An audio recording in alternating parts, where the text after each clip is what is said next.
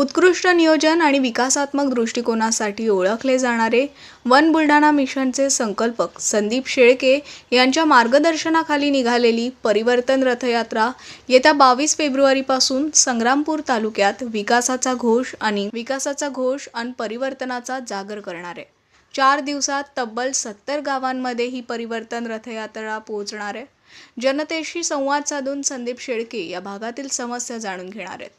मोताळा तालुक्यातील नळकुंड इथून दहा फेब्रुवारी रोजी परिवर्तन रथयात्रेला सुरुवात झालेली. तीन दिवस संपूर्ण मोताळा तालुक्यात परिवर्तन रथयात्रेचा जागर बघायला मिळाला. सर्वच गावात भरभरून प्रतिसाद मिळाला. तेरा फेब्रुवारी रोजी संध्याकाळी परिवर्तन रथयात्रेने मोताळा तालुक्याचा निरोप घेतला.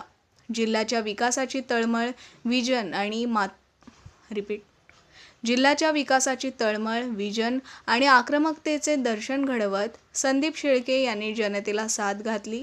या युवा नेत्याचे गावोगावी जल्लोषात स्वागत झाले.